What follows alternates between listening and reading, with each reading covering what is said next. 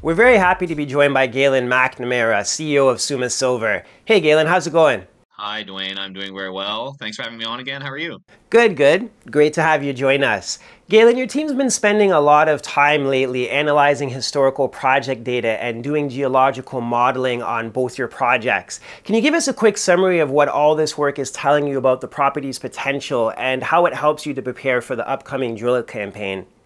Yeah, absolutely. Well, I think the important thing to think about here is when we're working in these old places that were famous mining camps back 100 years ago, uh, we need to stand on the shoulders of the people that worked on this before us and, and really use the work they did to shortcut us to finding new zones of mineralization. And look, you know, there's this old saying in mining the best place to find a new mine is right next to an old mine. And we're just really doubling down on that strategy in that we can take all these maps, hundreds of them, maybe a thousand of them, put them into uh, you know into the computer space in the digital world and we can parse down large amounts of data to make a really efficient decision you know and, and really maximize uh, the work that they have done in the past. So we can be as efficient with our exploration dollars as is really humanly possible and and get that discovery uh, per ounce cost down uh, as much as possible so is this type of intensive historical data analysis and modeling typical, or is it the future of smart mining? You know what? It's becoming more and more common. I mean, we're really, uh, really strong on it. It's something that I and the team feels very strongly about. Um, but but really, it's not something that's been done uh, as much in the past. But again, with with successes like ours and, and many other companies, um, I think a lot of people now are becoming uh, in tune to the fact that you know you have to use as much of the information from the past as you can. And you know even now you hear about things like you know ai and exploration and using ai to help us make discoveries well.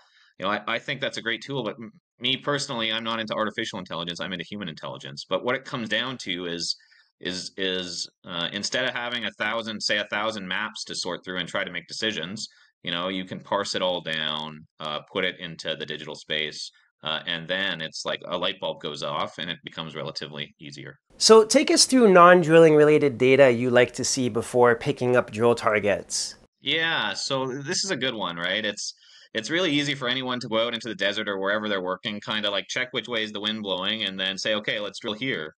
But I think what you know exploration people like to do is that we need to have as many uh, aces up our sleeve as as humanly possible. So you know, we say we use the underground mining maps from hundred years ago to help us uh, hone in, but we also go out and we we look at the rocks on surface and and use signs. We read the tea leaves really that those rocks tell us um, to help us target drill holes. But also, you know, we'll go out and we'll sample um, all of the soils uh, in a grid pattern around some of the targets, and if we see any uh, what we call pathfinder elements that are enriched, such as things like you know arsenic, mercury, but also of course gold and silver. You know that helps build the story to to test a target. And then one other another example is is geophysics, um, and and not to get too far into the weeds here, but we can w- run electric currents into the earth and measure how they reflect back to us, and that tells us a lot about what's underneath the surface too. So if you have you know one plus one plus one you know, instead of that equaling three, hopefully you can make it equal five and make a discovery. Galen, do you plan to continue staking new claims, or do you think your current land packages leave you more than enough exploration upside? You know, I think honestly, on both of these land packages, I can see a path to 100 million ounces of silver on each of them. So with that in mind, yeah, it's it's more than enough and then some. But but hey, you know, like we're commercial. We're always looking for new opportunities, and if you know, I, I have an idea or someone on the team has an idea that, you know, we might want to get more, you know, we, and it's a good idea. Yeah, we're not going to be afraid to act decisively and quickly and do it.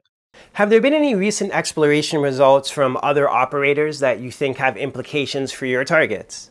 Yeah, that's a really timely question, Dwayne, because on our project in Nevada called Hughes, uh, our next door neighbor at Blackrock Silver, um, they've been having some great success on on their side of the project, uh, and they just put out a hundred million ounce silver equivalent resource um, very recently. So that's caused me to really, you know, rethink what could be on our side of the ground in Tonopah and on that in that area. And I already know that there's, we already know that there's a a, a many mineralized high grade zones that are fully open to expansion that really require follow up in the coming months. So, based on the most recent geological data you're seeing, does Nevada or New Mexico hold the most promise this year? Yeah, yeah, that's that's a question that we get all the time, and you know, hey, like I I don't want one or the other, I want it all, right? So I, I honestly, you know, both projects have that potential for 100 million ounces, um, which both would be very valuable.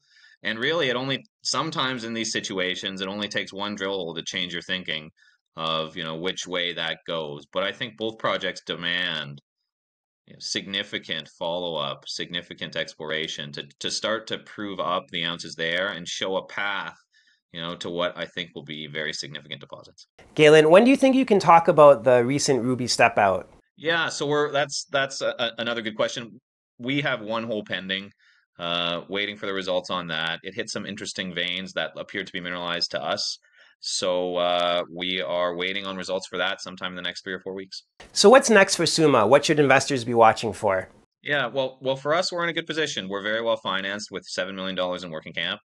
So, I mean, that really what I like to say, the analogy I like to use is that we've got a good war chest to go out uh, and really start building out, continue to build out ounces on both of these projects over the coming year or so, uh, which is uh, something that the team is very much looking forward to. So, for us, we're about uh, you know, exploration and drill, drill, drill. Um, very drill results focused company, uh, and that's not going to change um, in the next little while. All right, so you've definitely given us a great background on Summa and then also what investors can expect for the next coming quarters. So we definitely appreciate you joining us today. Thank you. Of course, Dwayne. Thanks for having me on, and I'm always glad to give uh, anyone an update.